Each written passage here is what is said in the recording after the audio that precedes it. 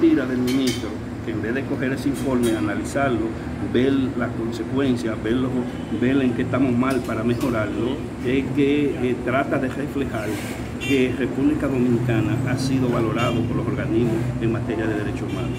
Y yo digo que eso es otra mentira más de la que Miguel ya nos tiene acostumbrado como ministro de Relaciones Exteriores.